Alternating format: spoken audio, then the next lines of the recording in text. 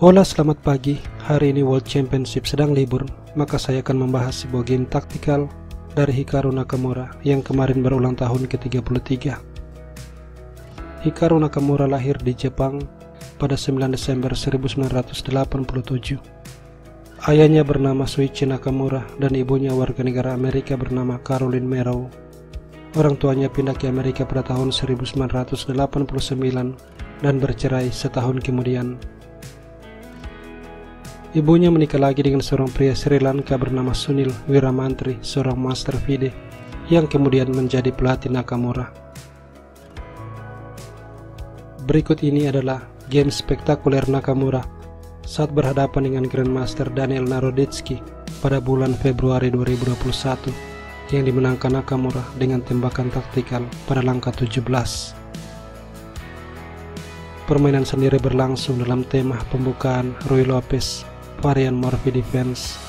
Sesudah gajah A4 Nakamura melangkah G6 C3 B5 gajah C2 gajah Fiansetto D4 pertukaran pion pion makan dan D5 pion makan kuda E7 rokade kuda F6 kuda C3 Nakamura rokade dan kuda E4 Nakamura mengambil pion dan sesudah gajah G5, gajah Fiansetto. Kuda E4, H6, gajah mundur, dan menteri C8. Ini merupakan persiapan awal untuk meluncurkan skakmat jika Nakamura mendapatkan kesempatan. Di langkah 16, kuda C5 dimainkan, sebuah langkah yang sangat kuat yang memberikan Naroditsky dua kuda monster yang menekan wilayah pertahanan Nakamura.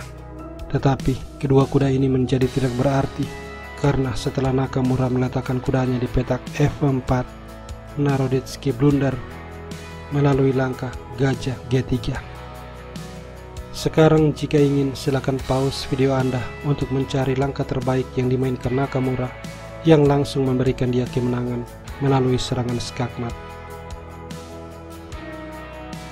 A few moments later. Anda siap?